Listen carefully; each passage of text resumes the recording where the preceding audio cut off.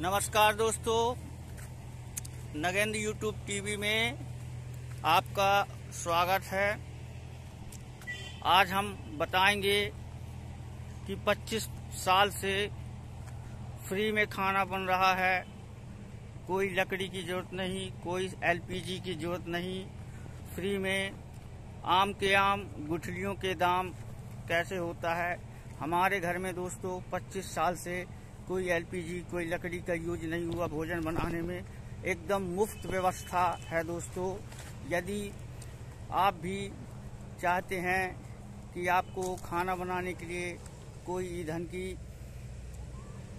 लिए खर्च ना करना पड़े, लकड़ी एलपीजी ना भराना पड़े, लकड़ी ना खरीदना पड़े, आप चाहते हैं कि मुफ़्त में आपका खाना बने और आप घर में कैसे मुफ़्त में खाना बनाने के लिए ईंधन की व्यवस्था कर सकते हैं।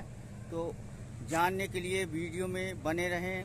हमारे घर में दोस्तों 25 वर्ष से मुफ़्त में बिना कोई एलपीजी और लकड़ी के खाना बन रहा दोस्तों तो आज हम बताएँगे, यदि आपके घर में गाय है, भैंस हैं तो आप छोटे से इन्वेस्टमेंट में या सरकारी सब्सिडी लेके। दोस्तों, इसमें आपको बनाने में भी कोई खर्चा नहीं लगेगा। इसके लिए गवर्नमेंट हेल्प करती है, आपको सहायता राशि देती है। गवर्नमेंट की स्कीम का लाभ उठा के आप गोबर गैस का निर्माण करा सकते हैं। हमारा भी गोबर गैस गवर्नमेंट की योजना के तहत बना था और 25 साल से निरंतर गोबर गैस चल रही है। हमारा खाना बन रहा है। तो हम आज आपको चलते हैं और दिखाते हैं गोबर गैस का प्लांट। दोस्तों, ये देख रहे हैं, गोबर गैस का प्लांट है। मैं इसका पूरा वर्किंग प्रक्रिया बताता हूँ कि ये कैसे वर्क करती है। तो दोस्तों, ये होता है मैन गुम्बज, दोस्तों, जो ये ज़मीन पे ढका हुआ है। ये ज़मीन के अंदर एक गुम्बज आकार में स्ट्रक्चर तैयार किया जाता है, जिसमें गैस बनती है और स्टोर होती है दोस्तों। ये गुम्बज की तरह होता है और इस गुम्बज में ये दोस्तों, एक टंक, टैंक बनाया जाता है छोटा सा, जिसमें गाय का, भैंस का गोबर को पानी के साथ घोल बना के घोल बना के यहाँ से गुम्बज में कनेक्शन होता है दोस्तों। घोल इस पाइप के द्वारा इस गुम्बज में चला जाता है और ये गोबर सड़ने के बाद जो मीथेन गैस बनती है दोस्तों, ये सटक के द्वारा आपके किचन में चली जाती है दोस्तों। आपका ये जो गुम्बज है, कहीं भी बनवा सकते हैं 500 मीटर दूर भी यदि आप बनवाएँगे घर से बाहर तो ये आपके किचन तक सटक के द्वारा ये गैस चली जाती है दोस्तों। और जो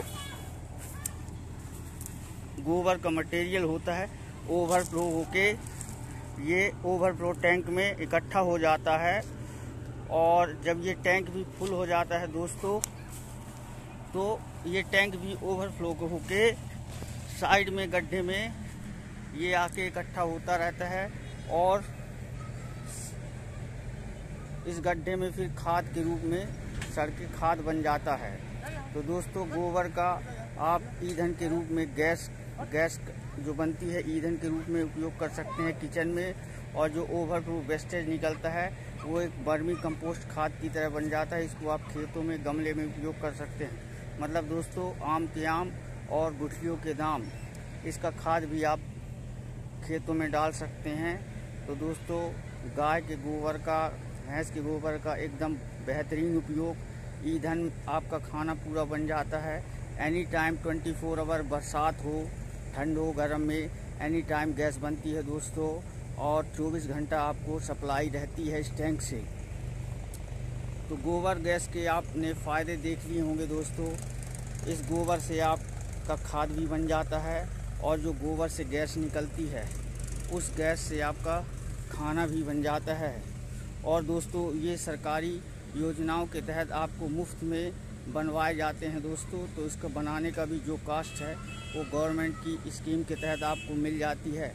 और यदि आपके घर में गाय, भैंस हैं तो आप उनका दूध का उपयोग तो करते ही हैं। इसके साथ उनके गोबर का एकदम बेहतरीन उपयोग दोस्तों, आपके ईंधन का खर्चा पूरा बच जाता है। हमारी आपको जानकारी कैसी लगी?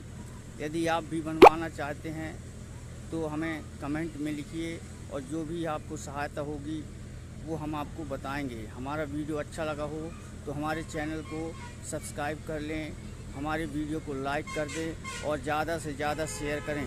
दोस्तों, ये हमारा गोबर गैस 25 साल से कंटिन्यू चल रहा है, इसमें कोई आज तक टेक्निकल प्रॉब्लम नहीं हुई और ये हमारे किचन से 500 मीटर दूरी पे बना है दोस्तों। जैसे आप ये सटक देख रहे हैं वीडियो पे, ये सटक ऊपर ही ऊपर हमारे किचन तक गई है दोस्तों। तो हमारा वीडियो देखने के लिए बहुत बहुत धन्यवाद। हमारी जानकारी आपको अच्छी लगी हो तो हमारे वीडियो को शेयर करें।